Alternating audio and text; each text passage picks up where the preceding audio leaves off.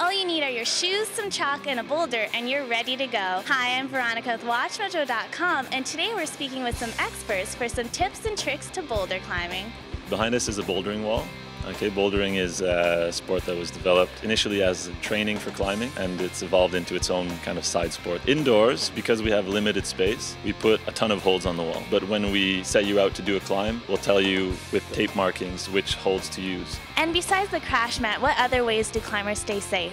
The other thing you can do is to spot your partner. So basically, if you're not climbing, you put your hands up and protect the person as they're climbing. What are the ethics that people should know before they start boulder climbing? If you do get serious into it, there are a lot of ethics. For example, on most routes, you're supposed to start sitting down with your bum on the ground, and the first move has to have you lifting off the ground and then doing the first move. What's the difference between bouldering and route climbing? Bouldering is done without ropes. It's much shorter. If you fall, you're landing on pads and not on the ground, hopefully. It's less of an endurance thing. I would call it more of a power exercise. So Amanda's going to do a route here that has a few moves that are more specific to bouldering.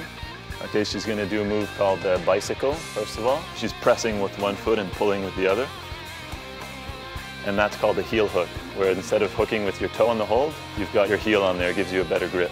What muscles are you working specifically when boulder climbing? It's a lot of core, obviously upper body, so your back, your forearms, your biceps. When you get more into bouldering, more experience, you're going to find you're using your hands a lot, so you can practice things that are going to get your hands stronger. So what would you say is the scariest part of boulder climbing? I'd still say is falling. If you're outside, it's going to be possibly onto rocks or anything like that. What's the level of difficulty? The levels are used by V grades for most bouldering. V1 will be the easiest or V0. Then as you go up, it's going to go V1, V2, V3, V4, and so on. We know you mastered all the moves you compete in boulder climbing. How do you prepare before a competition?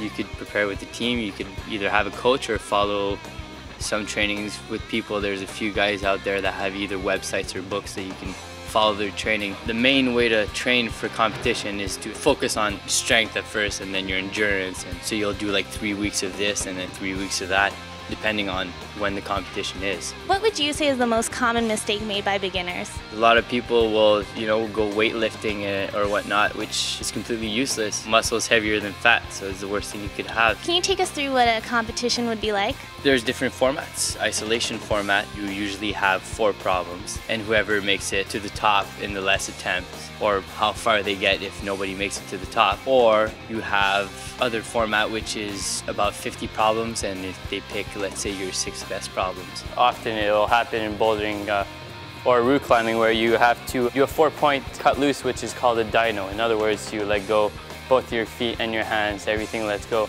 to jump to the next hole. So that's what I'm going to try to do.